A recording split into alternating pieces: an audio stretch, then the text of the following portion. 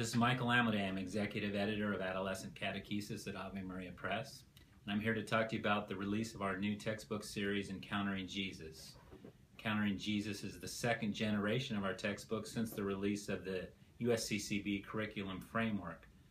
We've surveyed extensively across the nation, talking to many teachers, both face to face and through electronic surveys, and heard several uh, valuable pieces of input that we've now implemented into our textbooks. We've come up with a new pedagogical redesign, a lot of it based on not only your input, but on consultation with the faculty, especially at Loyola University Chicago, Dr. Lorraine Ozar, and also her assistant, Dr. Michael Boyle. Through their discussion, we've come to realization that I'm sure you're aware of as well, that teens of this age are digital natives to the, their phones and their screens, and they learn in a much different way. Their their reading patterns are different than generations that read strictly from a printed page.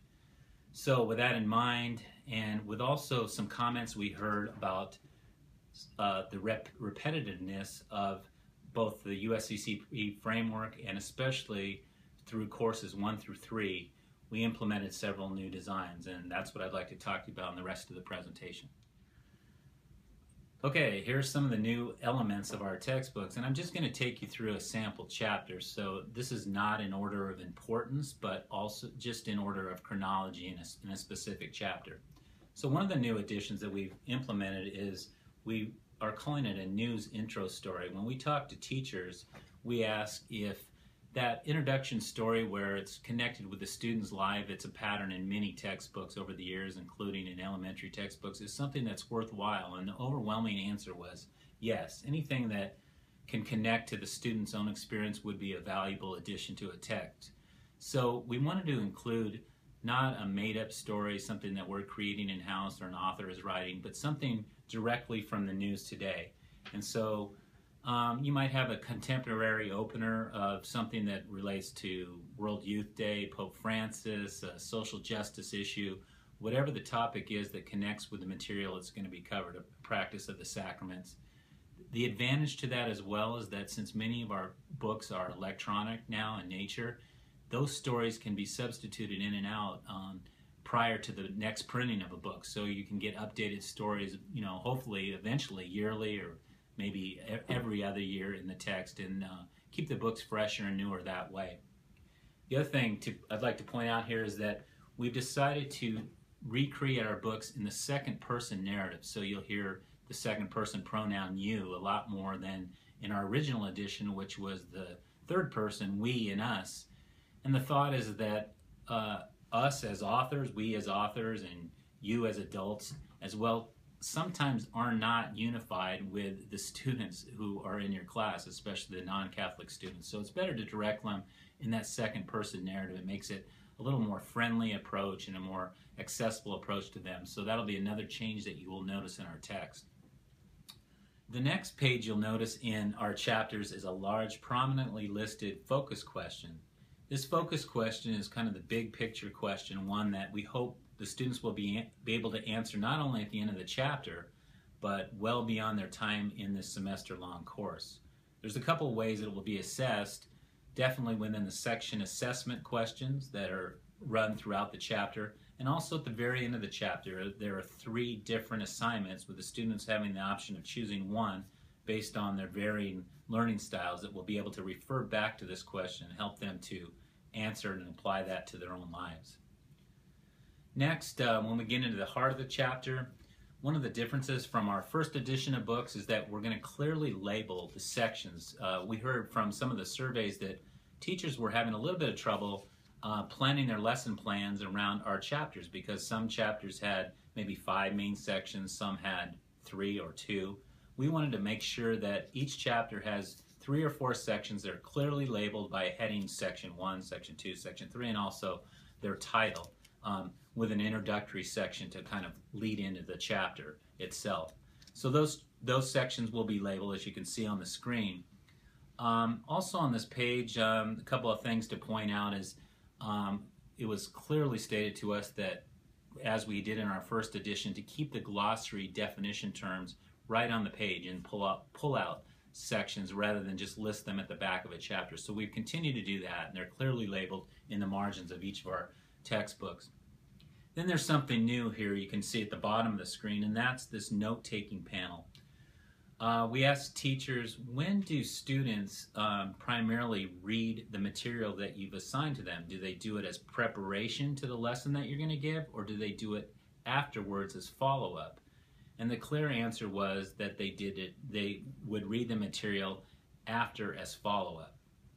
So, how do you assess that? How do you assess that they're reading or the importance of the material that's being covered in the textbook? How do you make sure that they've read the material? So, we've decided to offer, um, based on your suggestions, a different note-taking option. Based, basically, it's a graphic organizer. It might be a way to outline that section material. It might be a Venn diagram uh, suggestion, or in this case, uh, this little pyramid of priorities to summarize the material in the section. Then at the end of the chapter in a section assessment, which you'll see on the next screen, um, there the note-taking um, elements are then referred to again in a section assessment question. So the students take the notes and then at the end of that chapter they can refer back to their notes and answer the question. I will say though that even if they do not use that note-taking option, they'll still be able to answer these comprehensive questions based on just the material in the section. The other thing to know is that this is basically good for a traditional notebook where the students would recreate these diagrams or graphic organizers in a traditional paper and pen notebook, or it's also good on any uh, version of uh, electronic note-taking um, uh, applications like OneNote and any others that are out there these days. All right, so now we're going to move on to a next page and another thing to talk about. Um, you know, again, I mentioned earlier in the presentation that one of the comments we had was there's so much material and you only have one semester to cover the material and how do you do that? And so we've um, looked for different ways to present the material. One of them is to present some of it with interesting and um, informative photos and then to increase the the information that's then covered in the caption of the photos. So this page has just one photo, but there'll be other designs in a chapter where there's a, a general photo essay and then we'll have detailed information that's then in the caption uh, for the students to read. So you'll need to point out that this is essential re uh, reading material as well. And I do want to say that these captions were turned in to the USCCB for review. So this material is counted for the comprehensive nature of their review, the completeness uh, element of their review. So uh, know that we're not missing or skimping on any material that they once covered in the first edition. It's all here now, just presented in a different way. Also, uh, we're using a, a, variety of classical and contemporary photos that relate to church life and the actual subject matter, whether it be sacraments or morality or social justice or scripture uh, from both earlier periods and, and relevant to today. But we're trying to avoid a lot of the, and we heard this comment, a lot of the photos of just teens uh, holding a Bible or teens gathered in a conversation around the lunch table or stuff. This really uh, serves no function but a design function in textbooks. So we moved away from that a little bit. Another way that um, we are deciding to cover some of this material, again thinking about the ways teens learn today, is to use a variety of infographics. And the one example here is on this page uh, that covers some of the church heresies. Um, so we're going to use those in two different ways. One is as a pull-out feature, so the student is reading along the running text, and now there's a separate pull-out feature where they read this material now covered in an infographic. The second option, I think, is looked at a little bit on the second page, but we have other examples of well, uh, as well, where students will be reading along in the running text, and rather than seeing like a a long uh, section of maybe three or four paragraphs of just straight text or even a bulleted list, some of this material will be now covered in an infographic. And it gives teachers and students an idea of what's really important for that chapter or that section to cover, especially for their assessment, and that's going to come up later in either a chapter test or a section assessment questions. Okay, um, mentioned section assessment and this slide uh, shows some of those. Uh, we heard uh, from teachers that it would be important to label the types of questions that are being covered or the items that are being covered. So you can note that the first one relates to that note-taking feature that I mentioned earlier. So this question comes directly from the notes the students were be, being assigned to uh, keep for the section, and now they're being asked to report back on uh, an answer, or an item that directly comes from that note-taking assignment. Again, if you choose not to use that note-taking assignment for a particular section, this question can be answered directly from the material. Then there's some straight uh, comprehensive questions that are um, uh, clearly answered answerable from the material in the section, and then other things like uh, application things, how they would use the material in the section, apply it to their own life. There's also uh, journal reflection type questions. There's def- vocabulary glossary questions that uh, come up in different sections as well.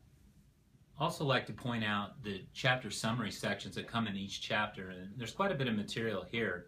Um, we have a, a paragraph or two that summarizes the sections in the chapter, and then a little bulleted assignment that comes with those chapter summaries. And these are important. We ask teachers when we produce these, what would you use these for, or should we include them in, in the material at all? And again, the answer came back an overwhelming yes, and some of the ideas were they would use them as study guides for the assessment that's about to come up.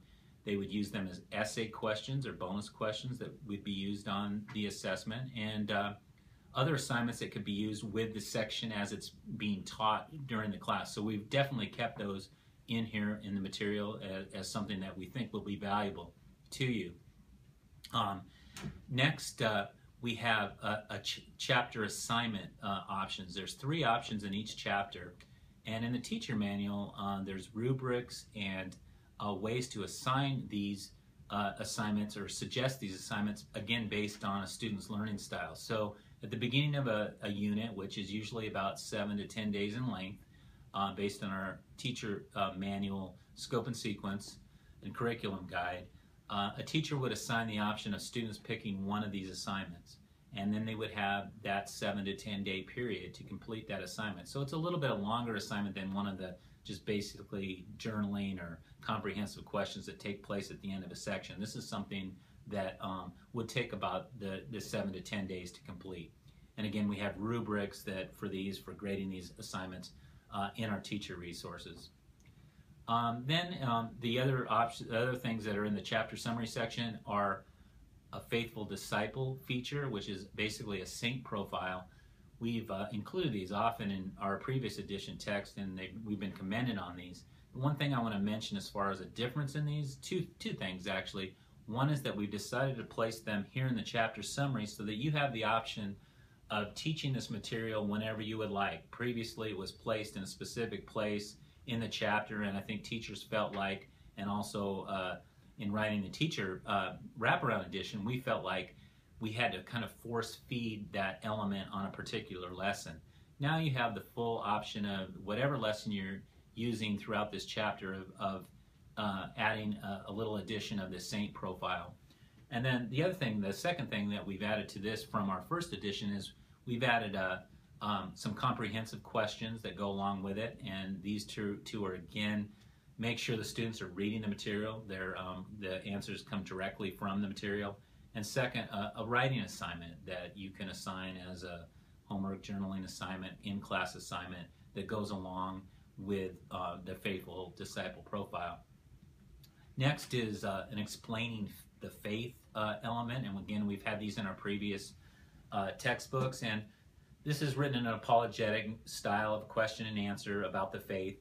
These questions are basically taken from the challenge questions that are in the secondary level protocol of the USCCB, along with some other appropriate um, apologetic type issues that uh, on our faith that relate to the topic of the course. So they're written in basic question and answer format.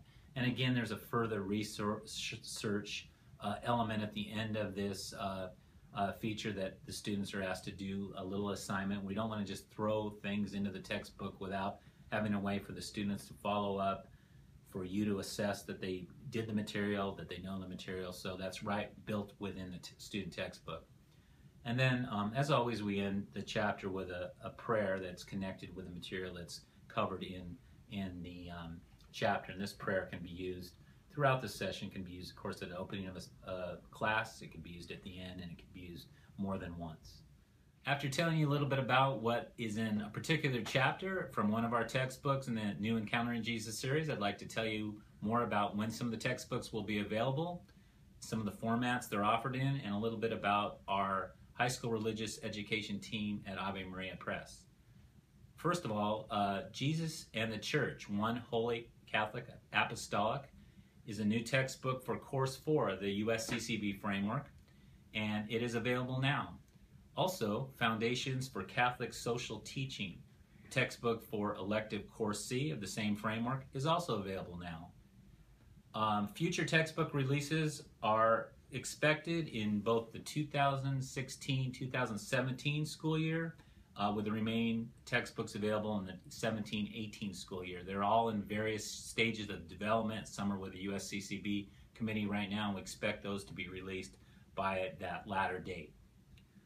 Uh, some of the formats, uh, first of all, before I even talk about the formats, how about talk about our very popular online classroom resources. They will continue to be offered with many updates for each of our textbooks. Some of the favorites are uh, reading study guides, uh, PowerPoint presentations, YouTubes that are uh, videos that are connected with each chapter of our text, along with some questions and discussion uh, items that go with each of those videos.